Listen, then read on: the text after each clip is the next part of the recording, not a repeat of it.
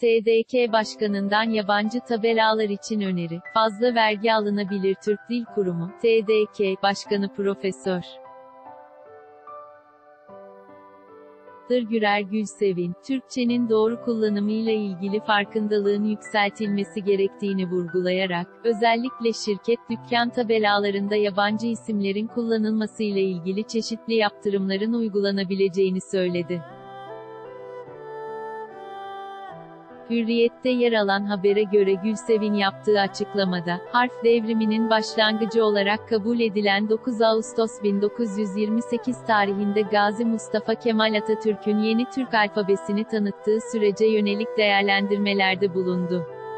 Türklerin, tarihin en eski dönemlerinden itibaren Orta Asya'dan Avrupa'ya kadar birbirinden çok farklı coğrafyalarda yaşadığına dikkati çeken Gülsevin, sadece Cumhuriyet dönemi değil Osmanlı'nın son dönemlerinde de Türk aydınları ve devlet adamlarının Arap harflerinin Türkçenin ses yapısını yansıtmadaki yetersizliklerinden dolayı yeni çözüm arayışına girdiğini anlattı. TDK Başkanı Gülsevin, Cumhuriyet döneminde de yine alfabe ile ilgili değişikliklerin tartışıldığını ve 9 Ağustos 1928'de Mustafa Kemal Atatürk'ün Sarayburnu'nda yaptığı konuşmayla Türk alfabesinin müjdesini verdiğini kaydetti. 1 Kasım 1928'de kabul edilen kanunla da harf devriminin yasalara girdiğini anımsatan Gülsevin, harf devrimi ile ilgili gerekçe ses özelliklerini yansıtması için daha iyi bir alfabeye sahip olmaktı.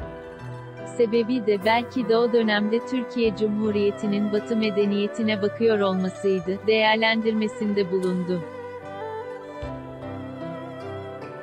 Gülsevin, bu süreçte Latin alfabesinin tercih edilmesinin sebeplerinden birinin batıdaki ülkelerle iletişimi, etkileşimi artırmak olabileceğini ifade etti.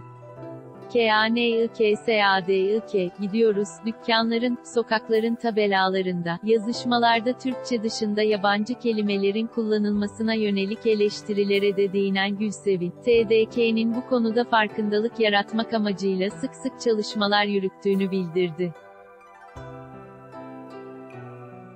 Türkçenin kullanımında, konuşma dilinde yabancı kökenli kelimelerin kullanılabildiğini, telaffuz yanlışlarının yapıldığını, sosyal medyada özellikle gençlerin farklı kısaltmalar kullandığını anlatan Gülsevin, bunlar hepimizin bildiği ama maalesef özümsediğimiz şeyler kurbağaların, suyun içinde kaynadığını tamamen pişene kadar fark etmemesi gibi, bunları kanıksadık gidiyoruz, kanıksamamak lazım uyarısında bulundu. TDK'nin görev tanımı itibarıyla yaptırım yetkisinin olmadığını ama bu tip kullanımların yanlış olduğunu anlatmak üzere sorumlulukları bulunduğunu anımsatan Gülsevin, şunları kaydetti, Türkçenin doğru kullanımıyla ilgili duyarlılığı, farkındalığı yükseltmemiz gerekiyor. Bunun için Türk Dil Kurumu çalışmalarını yapıyor. Ama ticaretle uğraşan insanlar başka endişelerle yabancı isimleri kullanıyor. Onun için yaptırım olabilir mi? Olur.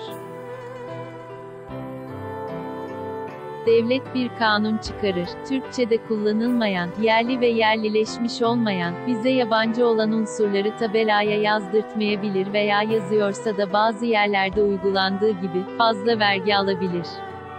Gereksiz yabancı kelimeleri kullanmak ise bir başka sorun, bu da bir hastalık. Günümüzde özentiyle Türkçe ile ilgisi olmayan, tamamen yabancı kelimeleri kullanmak bazılarının hoşuna gidiyor. Gülsevin, bu sorunla mücadelede ilgili kurum ve kuruluşların desteğiyle bilinçlendirici faaliyetler yürütmeye devam edeceklerini vurgulayarak, birçok kurumunda TDK'nin yayımladığı güncel yazım kılavuzuna uymak zorunda olduğuna dikkati çekti. Türkçe coşkun bir IRMAKTIR, TDK Başkanı Profesör Gürer Gülsevin, Türkçe, Türklerin dilidir. Tarih boyunca bütün Avrasya'yı dolaşan, geçtiği her yeri sulayıp besleyen ve oranın dilinden, dininden, alfabesinden, kültüründen beslenen coşkun bir ırmaktır. Bu süreçte edinilen her zenginlik de Türkçenindir, şeklinde konuştu. Kitap kelimesinin Arapça, televizyon kelimesinin Fransızca kökenli olması gibi sebeplerle eleştirildiğini söyleyen Gülsevin, şöyle devam etti, kitap da televizyonda Türkçedir. Örneğin, gözlük kökeni Türkçe'ye dayanan Türkçe ise kitapta kökeni Arapçaya dayanan Türkçedir. Biz bütün dünyayı dolaşmış bir medeniyetiz. Bu kelimeler ya Türkçe kökenlidir ya da bizim gezdiğimiz coğrafyalarda fethettiğimiz, yerlileştirdiğimiz kelimelerdir. Yani bizim dilimizden kitap kelimesini atamazsınız. Dilimiz kimliğimiz derken, sadece kökeni Türkçe olan kelimeleri kastetmiyoruz. Kökenleri yabancı da olsa alıp dilimizde yerleştirdiğimiz unsurlar bizim olmuş demektir. Bugün için, yabancıdır, diyebileceğimiz kelimeler ise Türkçe konuşanlara gerçekten yabancı gelen unsurlardır. Örneğin bugün, drone kelimesi bize yabancıdır. Onu bugün önerilecek bir Türkçe karşılığıyla telaffuz edersek kendimizi koruruz. Fakat hassasiyet göstermeden öylece bırakırsanız 30 yıl sonra o da Türkçeleşir. Gülsevin, TDK olarak bizim vazifemiz dışarıdan yabancı tehdidi gördüğümüz zaman ona karşılıklar bulmak, duyarlılığı artırmak için programlar yapmaktır. Bu TDK'nin vazifesidir ama zaptiyelik ve gümrük memurluğu yapmak değildir.